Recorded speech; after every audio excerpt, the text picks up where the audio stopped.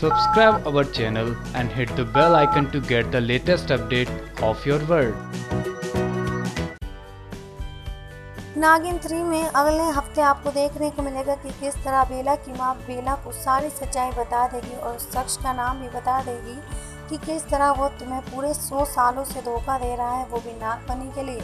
पर ये हम आपको बताएँगे, लेकिन रिसेंट ट्रैक की खबर देख लीजिए, जहाँ आप देख चुके हैं कि किस तरह बेला को एहसास हो चुका है अपनी मोहब्बत का और वो माहिर को बताना चाहती है कि वो एक नागिन है, जिससे वो विक्रांत को भी कहती है कि हम दोनों मिलकर सारी सच्चाई बता दें। लेकिन विक्रांत के दिमाग में तो अलग ही प्लान चल रहा है विश के साथ, जहाँ विक्रांत विश को लेकर पहुँच जाता है मंदिर, जहाँ पर होता है नागमणि और वहीं विक्रांत उगल देता है सारा प्लान कि किस तरह वो बेला को फंसा कर और बेला की ताकत छीन कर नागमणि को अपनाना चाहता है और बनना चाहता है सबसे ज़्यादा ताकतवर नाग जिसमें काफ़ी सारा ड्रामा भी देखने को मिलेगा, क्योंकि विश भी यही करना चाहती है।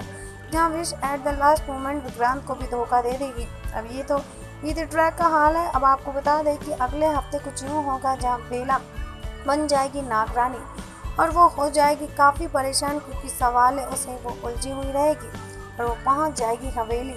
जिस हवेली से कहानी शुरू हुई थी, और वहीं मिलेगी उसकी माँ जहाँ वो बताती नज़र आएगी कि असली कातिल कौन है और माहिर बेगुनाह है तो आगे क्या होगा इसकी सच्चाई हम आपको देंगे अपनी नेक्स्ट रिपोर्ट में,